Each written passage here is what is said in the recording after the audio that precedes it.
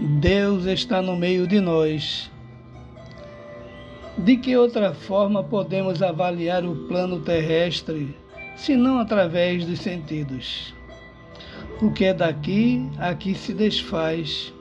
Ouvimos vossas dúvidas.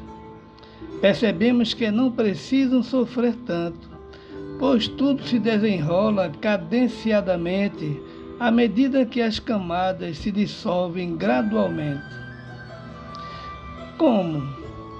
Todos os processos se aprimoram com prática e dedicação, dedicando-se ao bem, praticando virtudes, desenvolvendo amor. Assim ajudaremos a reconstrução de tudo. A angústia de explicar o inexplicável nos leva a criar dor e sofrimento, atraso e revolta já está escrito que nem uma folha ou um fio de cabelo cairão sem a vontade do Pai. Disciplinai vossas ações, coordenai vossos pensamentos, e encontrarás Deus acima do universo. Físicos e teóricos buscam preconizar a existência de Deus, mas não saem do trivial costumeiro Vidas e vidas se consomem, se diluem no vazio.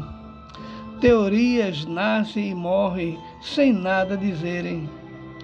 Coloque em terra os joelhos humildemente. Lembrem que os sábios e santos apenas amaram. Nosso grande mestre Jesus não foi laureado, não ganhou o Oscar, nem prêmio Nobel não estou por isso desprezando a evolução científica. Mas onde está Deus? Ele está no meio de nós, um amigo falante. Paz,